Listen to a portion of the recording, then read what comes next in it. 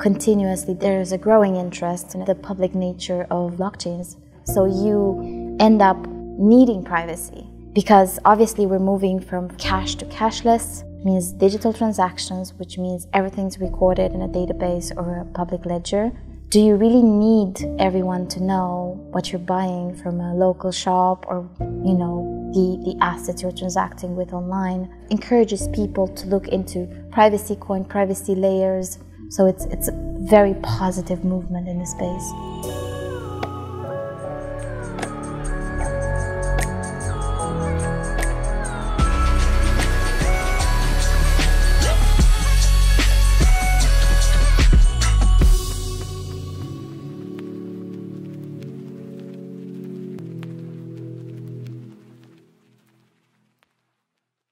We are here live at the Token 2049 in London, and we're about to interview Roxana Nasoi, who works at Launchpool, Launchpool Labs. She's an advisor, she's a mentor, she's a privacy activist, and has tons of cool tips on how to choose the right startups from a fundamental standpoint when investing in different coins and tokens. So stay tuned to the very end. It's gonna be freaking awesome.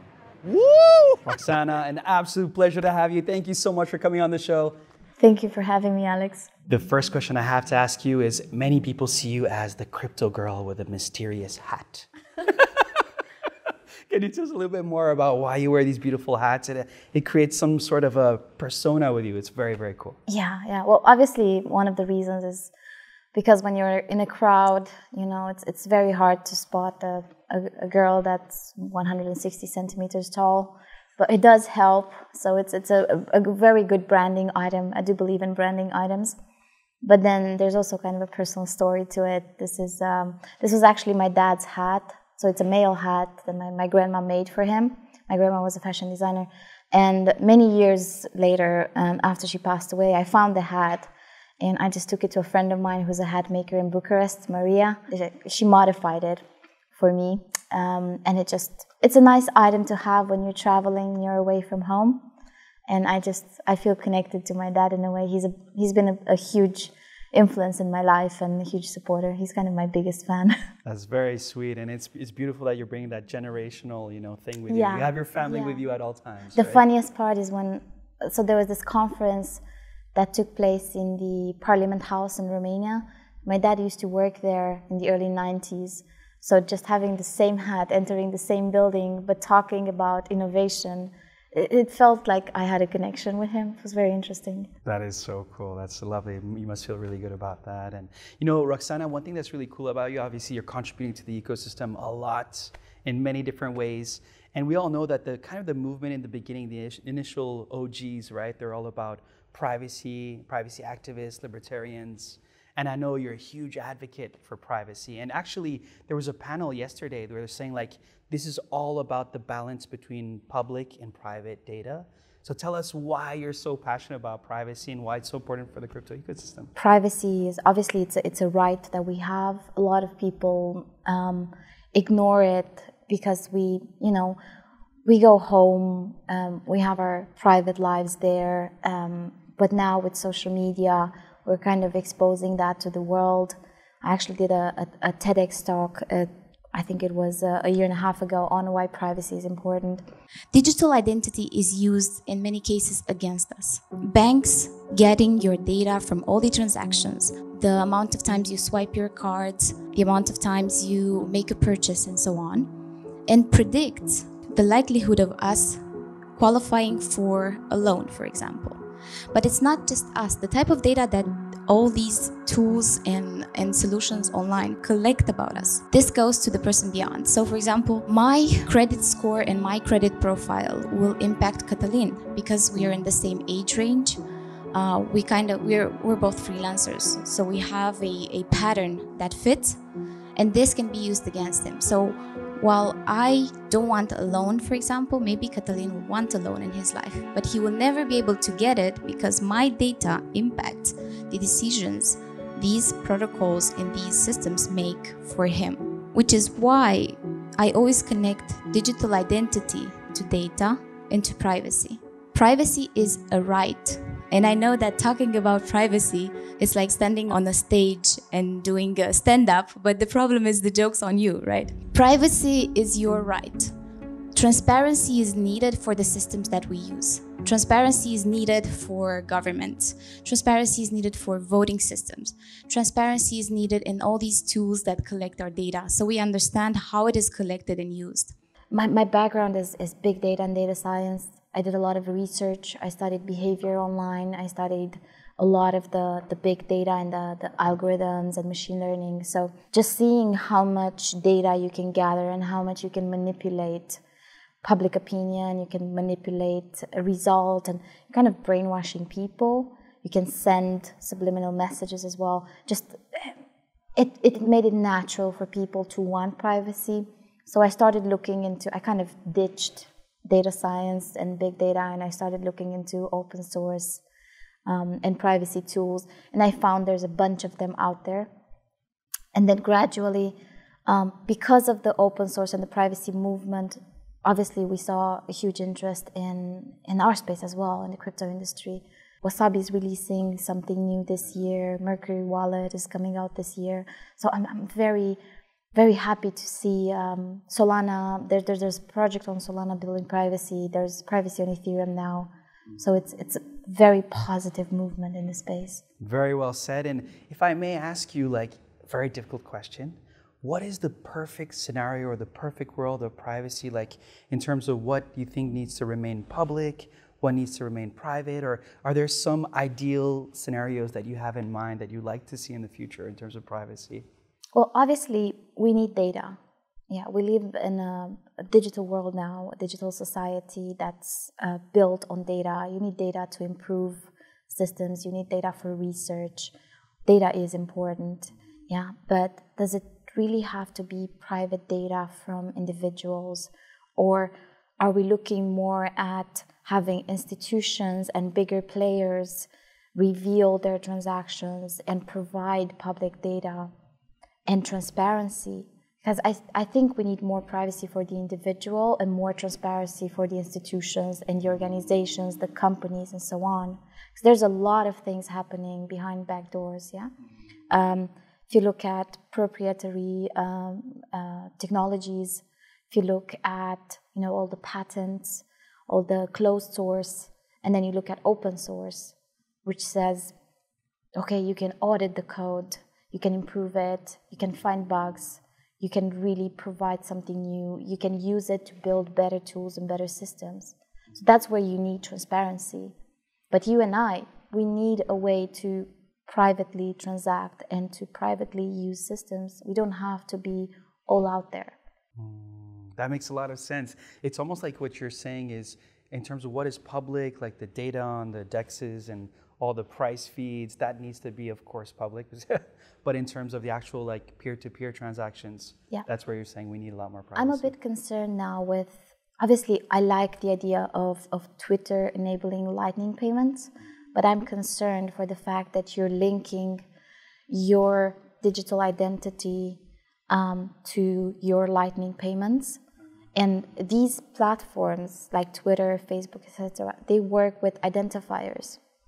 Your identifier for Twitter is a phone number, is an email address that you use frequently. Um, if you verify your identity, you have the KYC data, and there's always a security component to it cybersecurity is a very important component. It's, it's obviously lost in the conversation. People will say, oh, but we use blockchain. Yeah, but you're tying that blockchain to uh, a system, a traditional system, or another third party system, and that needs better, better security measures. So I'm always concerned with linking identities on the internet, and I think the internet should stay anonymous.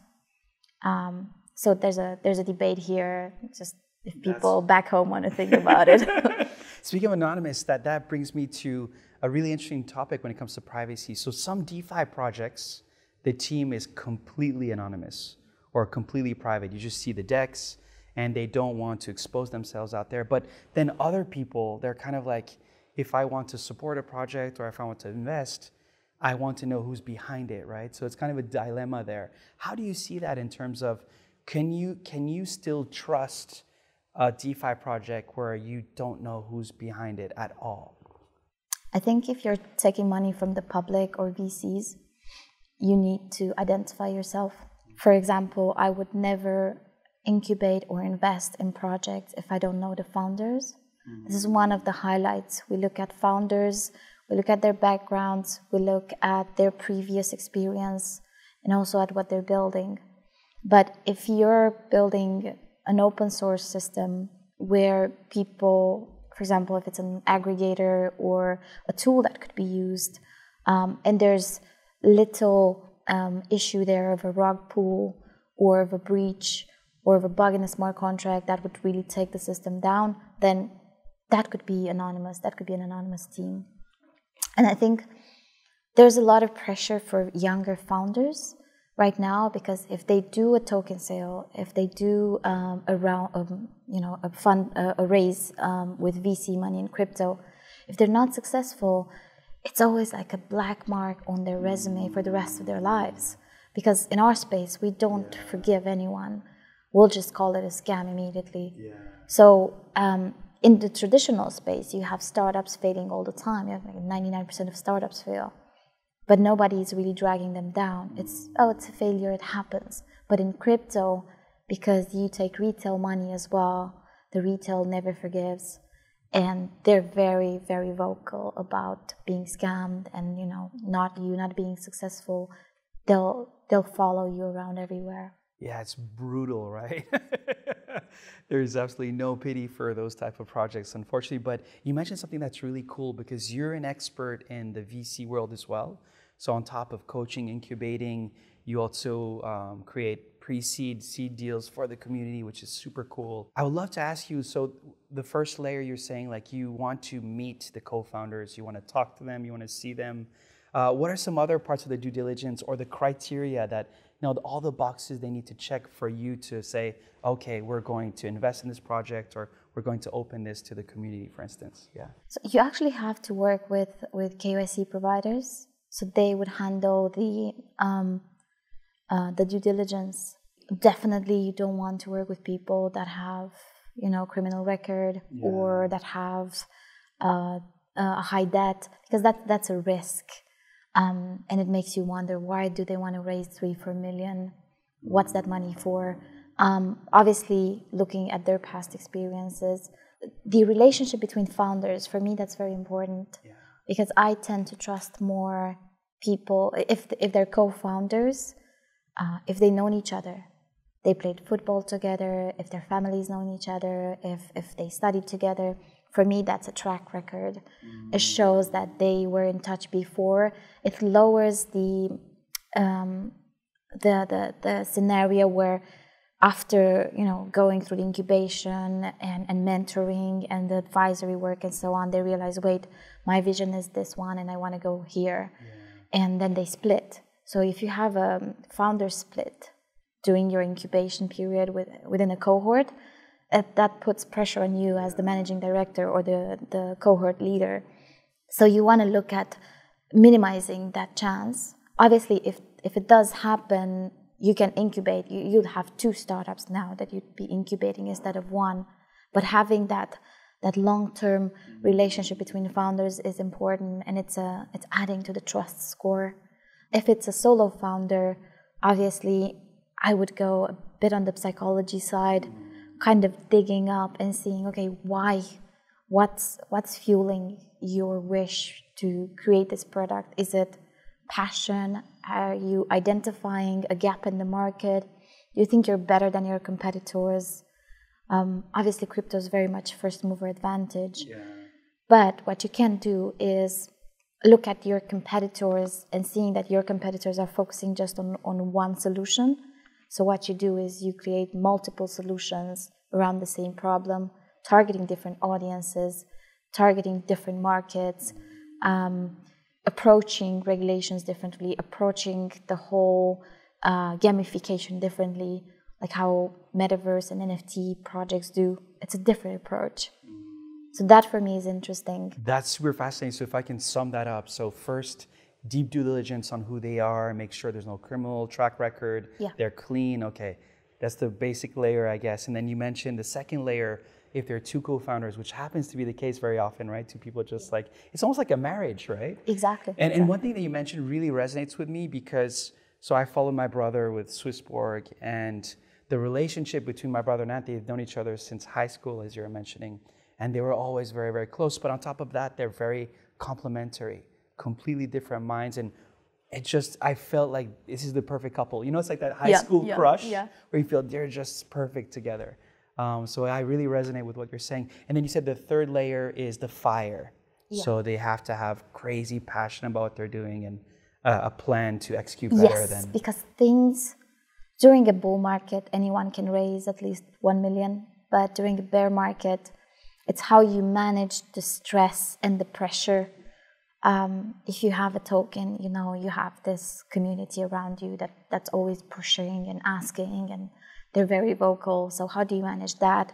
And a lot of people they just crumble under the pressure.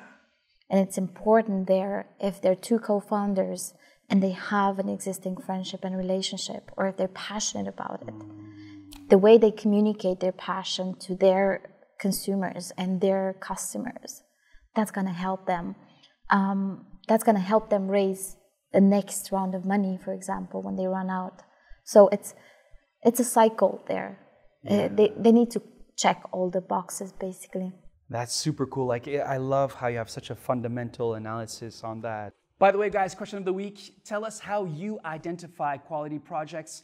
Put it in the comment section below and you'll be eligible for a prize. Are there any other like components like specifically to the product they want to launch or the marketing abilities or what are some of the struggles? Like what are some things that you as a coach come in or as a mentor advisor that you notice okay, if people out there want to have a startup, what are some common difficulties you've noticed or patterns?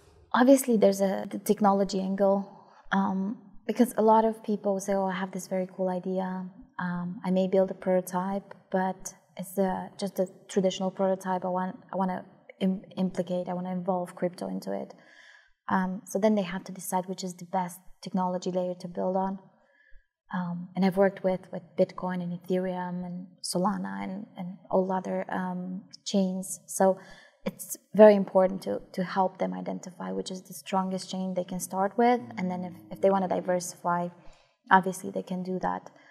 Um, then the, uh, the community building. So there's this concept of having a minimum viable community. Oh, interesting. Yeah, yeah. MVP, so there's the M- MVC? yeah, yeah, MVP, MVC, exactly. And the MVC, the minimum viable community, is in order to reduce the the pressure, um, you need to have a couple of thousands of people that are with you, but real people in your Telegram community, on your Twitter, because from these people you can actually convert them into users of your tools. So you know how before during the ICO era, as I call it, you had the token and then you had the product. They had absolutely no link between each other. This would go on secondary markets. This would just stay and wither away. Yeah. Well, now you have you have the product, you have the token. Then what the product can do is that you can attract the token holders onto your platform. You use DeFi mechanism like staking, uh, yield farming, etc. They become users because they would need, for example, to register an account or just to offer some information in order to get access to those pools. And that's a way that you can actually get these token holders, which are interested in speculation. We got to be real about it, yeah? Yeah. They're there for the money. But if you can gain them as users, then you can actually implement gamification and loyalty programs on your platform to make sure that these people stay with you. And, and loyalty is a very important topic. In um, I think you know that I, I worked with, with Elance back in the day and with Upwork as a country uh, representative. So for us, we, we were a global marketplace, um, basically transacting skills. So I had a skill, you were a client, you needed my skills, we would transact the skill, you'd pay me through escrow. For us, it was important to actually identify the different type of groups of skill providers. So our audience, the freelancers, they were either uh, we found four type four categories. One was people that were new. They they heard about it, they signed up, just like in crypto. They heard they hear about it, they download an app, they don't know what to do with it. So what we did is we did we created training programs for them. give them a taste of how to get their first 1K out of their skills. This can easily be replicated in crypto. How to invest your first 100K, uh, the first 100 dollars, let's say, and get your first 1,000. Then we had the second category, which was people that were active before, but now they were inactive. Um, so that's reignition, how you activate these people. Mm. If you have them in a database, it's very easy with an email, with a campaign, with a contest, with a, a reward system to kind of reactivate them and kind of hint that, hey, do you want to come back with us? Then there were people that were kind of like halfway there, but they weren't full time making, uh, you know, generating revenue from it. So the way to do that is you create targeted programs for them, just for that segment. You're here, how to get to the next level? And again, this can be applied in crypto. You're using my platform, you're using Swissborg, yeah. You're generating this much per per per year with with our wealth app. How do we take it to the next level? Mm. And then you had those that were really at the upper level. How do you loyalize them? How how do you not lose them? Yeah. So that was how do these people become your ambassadors? How do you put them and highlight them in the community so they're actual role models? Because you as a person, you're associated with the company, but these people, your maximum maximum community stars, they're they're people just like everyone else that started from zero and just gradually made it there. That's super cool. So, kind of like the way you handheld them, or not yeah. just with the previous job, but the current startups, is you're helping them find okay, what is your tech, what is your product, which blockchain should you choose, and why? Push them towards yeah. that. By the way, I know tons of startups. They're always saying, which blockchain should I yeah, use? You know. And then after that, you help them with not just the MVP, but the community. MVC with the community product, side of things. Product fit, market fit, all of that. And then connecting the token to the product, not like back in the days where it was completely yeah. separate. And additionally, it's also the fundraising. Oh, yeah. Because they need traditional incubators and accelerators would initially give a very small amount, like 20, 50K maximum. That puts a lot of pressure on the founders because it's not enough. It's barely enough to cover your incubation costs. I think with crypto, you can fundraise um, let's say you do like half a million through pre-seed and seed you also build a community and then they have everything they need to say okay now we're ready for private. Now we can do pre-ido now we can get involved with crypto vcs now we can do public sales and just launch. That's super cool. It makes so much sense. I mean the way you put this all together how it molds. I'd love to ask you about tokenomics because you're talking about the product and connecting with tokenomics in the recent projects you've been mentoring and stuff like that, have you seen any cool new utilities or or some yes. utility? Yeah. Yes. Like uh, because I really feel like you know we've gone through obviously gas, which was the first utility, uh, pay for gas fees, and then you would have like the exchange tokens with the discounts. Then you'd have like the yield platforms with augmented re- yield and governance. There's are, still that. There's still that. What I found interesting was NFTs used as access keys, um, then a combination of NFTs and tokens in game, NFTs and DAOs. So actually, I'm, I'm incubating now a project and they're looking at creating a DAO, but they're an NFT uh, marketplace. So it's going to be very interesting how they do it. We're still working on it. Is it in a case like an NFT is kind of like some sort of digital identity in that case? Yeah, oh. yeah, yeah we'll see how it goes because you don't really have NFTs involved in DAOs. You have kind of separate things. This is going to be really interesting to see how we can integrate that. Obviously, offer the, the community the, the chance to be involved in the DAO because they have the NFT. It makes sense, right? Because like if you can use an NFT and connect it to someone's identity, it's that, you know, belonging, you know, and when you look yeah. at the Maslow hierarchy, it's like the belonging needs, right? Like, oh, this NFT proves that I'm this person, and it's a cool concept. What I like about NFTs is that you can't burn them. Yeah.